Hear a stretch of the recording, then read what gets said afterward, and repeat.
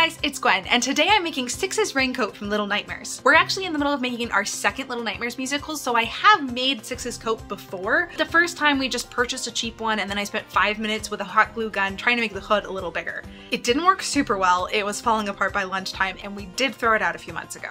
I'm gonna need a new one. To start, I needed a lot of yellow fabric, and thankfully I had this giant Pikachu sitting around being adorable. I thought the ears would work great as sleeves and the body seemed like just the right size, so I took it to Oh. Well, maybe I should use this convenient pile of fabric thread and buttons instead, you know, just to get them off my floor. I also used this pattern, which is just a simple bell-shaped coat. I'd actually used it before when I made Little Misfortune's coat two-ish years ago, so the pattern pieces are already cut out and I can pretend that I read the instructions before while I blatantly ignore them. Pretty sure that's what I did last time.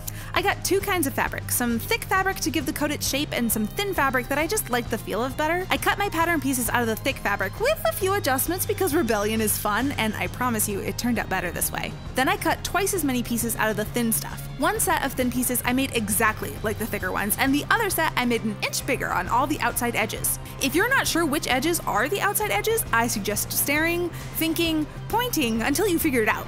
And if you're wondering how I put all this fabric on the floor without luring a single cat to the scene, they were both busy birdwatching. You know, the fifth law of feline dynamics. Where your open window is, there shall your cat be also.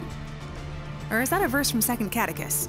Anyway, I cut some big rectangles for pockets and pocket flaps, and when I was done, I had six back pieces, six front pieces, six sleeve pieces, and six pocket pieces. And if you think I did that on purpose because it's Six's coat, no, I didn't even notice until I was recording this, but now I'm laughing. If you're a different kind of person and just adding that all up to 24 and thinking that's way too many pieces for one coat, you're wrong, but you're also right.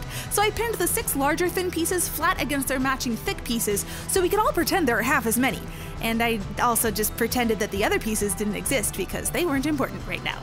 I pinned the pocket rectangles together, folded the edge of the thin fabric over the top, and sewed it down, then pinned them to the coat front with the pocket flaps right on top.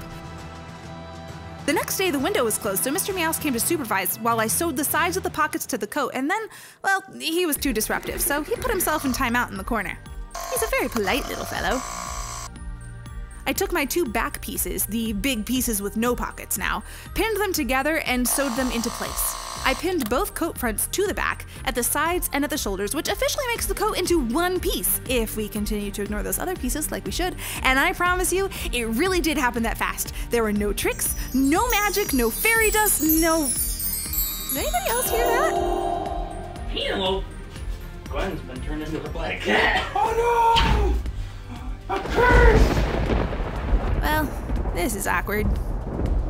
Once I got my thumbs back and the coat was all pinned together, I sewed all four seams as I had pinned them and started in on the sleeves. Mr. Meows decided supervising just wasn't for him and instead challenged me to pin both sleeves into tubes with one hand. Sort of. Probably more like one and a half hands? I don't know. I, I, thought I was cheating at first, but he didn't seem to mind, and when I was done, he rewarded me by stealing the sleeves for himself. I take back everything I said about him being polite. He's adorable, but he's the worst. I sewed both sleeves, then folded the extra fabric at the hem over and pinned it, then stretched, danced, conducted an imaginary orchestra. I don't think this was that important. I sewed the extra fabric down and AJ arrived with gifts. Chocolate! Chocolate for me! I'm uh, watching a show called The Great. Is it historical? Yeah. How did you know? Only historical people are great. The rest of us are mediocre. Well, Catherine the Great. I don't follow her. yeah. I'm fairly certain she was Princess Anastasia's either grandmother or great grandmother. I don't remember which. That's a lie. I had several more greats in there. I have a weird question for you. How does one fake their death and use a different body to be discovered as their body? You want this other body to be ID'd as you. So you don't exist because they found your body, but it's not your body. Like, I know how we got here, but also this is really weird. Like, where are the steps?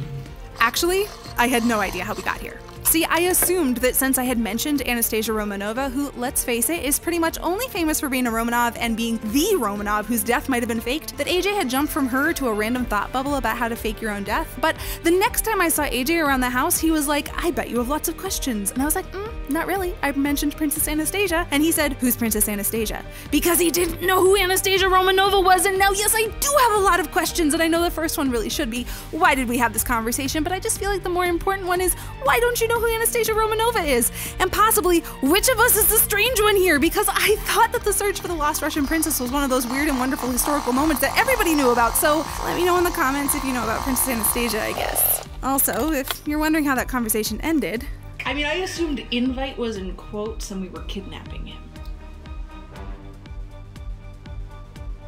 That seems aggressive. If he walks in and I kill him, that's different. No, now we're breaking hospitality rules. Now it's like it's a guest in your house and you have offered him harm. All right, I'll consider the kidnapping route. Okay. Thanks for your help. I like you. I don't even know what just happened. So apparently, I put the sleeves on the coat while I was ranting about Russian princesses, and it was looking pretty good. But I don't know if you noticed this, it's missing a hood. The hood was both the most important piece of this costume and also the only piece I didn't have a pattern for. I'd been thinking about it a lot, and I decided I needed to cut pieces that looked something like this a little crooked house shape with a pizza slice cut out of the middle and a plank with a rhino horn. You know, just to get all four weird little corners on this weird little hood. But pretty much as soon as I got to looking at real fabric, uh, the house wasn't working, the pizza slice needed to be way bigger than I thought. The rhino horn was fine, but the plank was not. Or maybe it was. It kind of depended on how fat the house was, and you know, I don't know. Most of it was wrong. So I decided to make the hood out of paper before I cut any more fabric. Honestly, the paper wasn't much easier to work with, but I had a lot more of it to waste, and I think I got my answers faster. It took me about an hour, 10 sheets of paper, half a roll of tape, and one visit from the cat to get to the point where I thought it was worth trying on my head. You know, as well as you can try on a bunch of paper. This makes me awful. And then I got a pattern that looked like this. Pretty much the only thing I ended up keeping was the rhino horn. I cut it out, stitched it together, and, you know, I tried. The side corners were just too high, the back wasn't pointy enough, and it was just too tight around my face. So I made a new pattern, tried that on, and whew, so much better! So much more space for my face, which was really bothering me on the last one. I cut out six fronts and six backs, again, didn't notice until just now, and stitched the final hood together, then paused to attend the deep sea fishing event in my living room. Where are we gonna cast our night to now? Right over here. Where did it go? Where did it go? Oh, deep into the dark blue sea. You critter into the sea! Oh! My shoe, you do that! Ah! Oh! Something tried to get it! It was a sea monster! I got a big old seal in the water over here!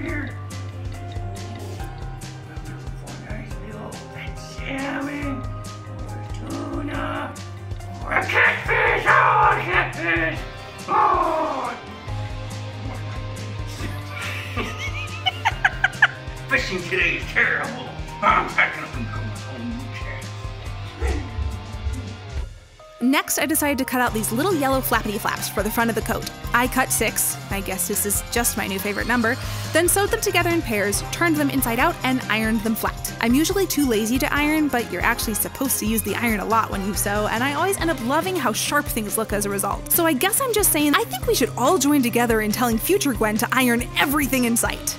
You know, within reason. I marked three spots down the front of the coat, each about a water bottle length apart, sewed the flappy flaps into those spots, pointed away from the opening. They're going to point the other way eventually, but this builds anticipation.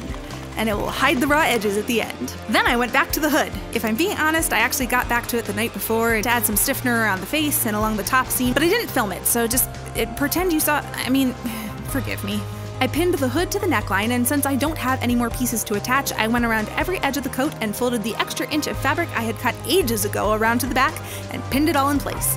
I also folded the flappity flaps so they were pointing the right way now. I sewed the hood to the coat, looking good, then sewed all the way around the edges. Hood, one side of the front opening, around the bottom, up the other side of the front opening. All one seam, pretty long. I used my machine and it only took me 15 minutes. Why am I telling you this? No reason.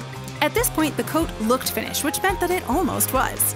I just needed to add the lining, which were all those pieces I told you weren't important right after I cut them out. I started with the hood, then put in the sleeve lining and pinned it until the end looked like the gaping maw of Charybdis, which I'm really only mentioning so that you all can give me some context.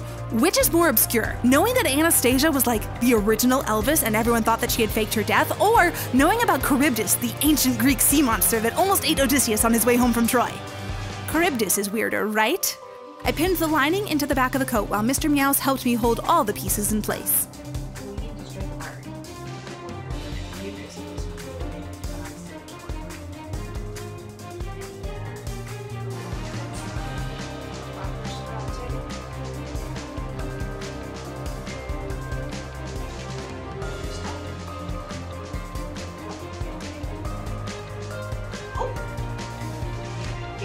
Helping is a strong word, and I do draw the line when he starts pouncing on sharp objects, so I let him go.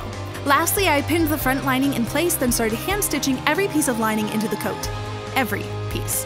Reasons this was a good decision. I really like hand stitching. It's one of those things that's so repetitive, it's soothing, and I can see my progress really easily. I always end up feeling like a proper, accomplished young lady. And I was trying to avoid there being a second line of stitching on the front of the coat, which there definitely would have been if I'd done this by machine.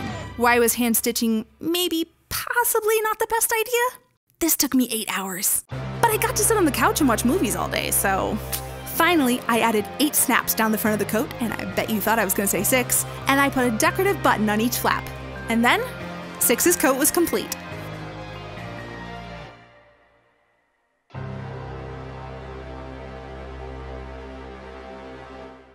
Thank you so much for watching. If you guys enjoyed it, please make sure you hit the like and subscribe button, turn on that notification bell so you don't miss any of our behind the scenes. And of course, you can check out the musical here and more things I made over here. Beard salute! Woo!